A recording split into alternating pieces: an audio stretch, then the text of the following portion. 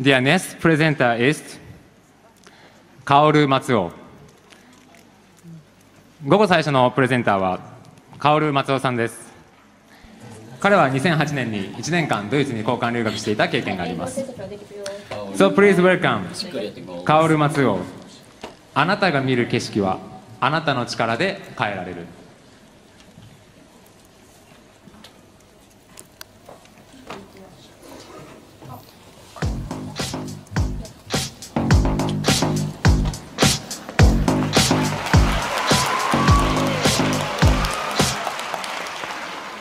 Guten Tag. Wie geht es euch? Mir geht es auch gut. Ich heiße Kaoru und ich, heiß, äh, ich bin ein Businessman. So. Buchstabier bitte Kaoru. Dankeschön. So, heute ich möchte erzählen. あなたが見る景色はあなたの力で変えられる。Das ist meine multilingual Erfahrungen. Als ich 16 Jahre war, ich war 14 Monate in Deutschland als ein Austauschschüler, weil ich hatte Interesse für die Umweltprobleme. Dort hatte ich ein Praktikum gemacht in Wasserkläranlage. Das war eine schöne Erfahrung für mich, deswegen. Jetzt arbeite ich im Wasserchemiefirma in Japan. Und 今社会人1年目のカオルです 水をきれいにする薬品を売ってますそして、えー本日薬品の営業に参りましたよろしくお願いいたします Okay So I want to produce for you the chemical solution Okay Before and after You will succeed よどんだ人間関係をクリアに So The name of chemical is 言葉 There is three effects in 言葉 First one 自分の気持ちを相手に伝えられる Second one 望む状況を実現する And third 後悔しない人生を送る So I want to show you the results of this chemical First one is in Korea 안녕하세요. 저는 가을이에요. 초등학교 6학년생 때 한국에 교류해서 갔다 왔어요. 한국에서 중간 미팅가 있었어요. 저는 일본의 친구 만나고 싶었었어. 파란색 티셔츠 입었었어. 호스트 패밀리로 아피를 했어요. 아피를 だけ 했어요. 하지만 なぜか観光に連れてかれる？長男気分でしろよ。なんで連れてってくれなかったの？自分だけ日本の友達に会えないじゃん。せんかけさ。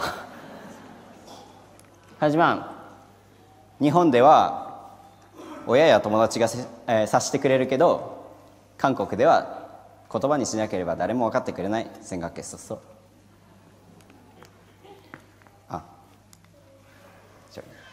저는 1回しかない韓国交流後悔はしたくなかったよ 마지막 나요 할머니 집에로 갔다 왔어요 할머니 집에는 관주는 있어요 관주는 부산에서 3시간이에요 어, 最後の日になってもホストファミリーはおばあちゃんの家から一向に帰ろうとしなかった明日の夜あ朝9時には 日本に帰らなきゃいけないってことはこのままじゃ帰れないやばい생각했었어요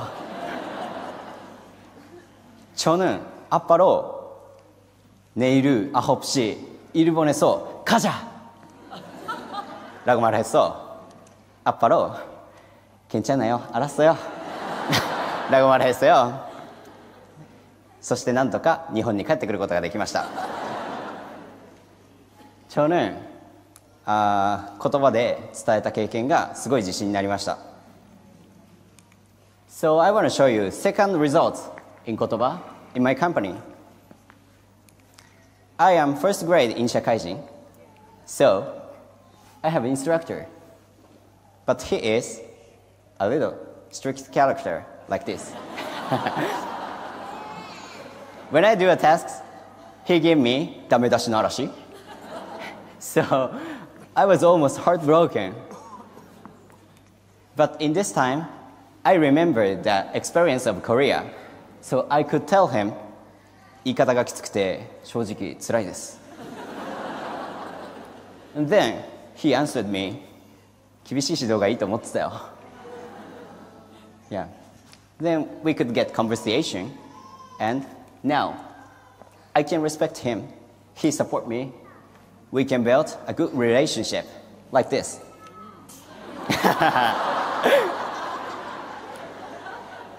so, I want to get back sales. Okay? こちらのよどんだ人間関係をクリアにする薬価格の方気になると思いますなんと価格は0円でございますでは最後にメッセージです。あなたの気持ちを相手に伝え後悔しない人生を送りましょう。なお言葉や気持ちはそれぞれ違いますので相手を受け止める気持ちを持ってご使用ください。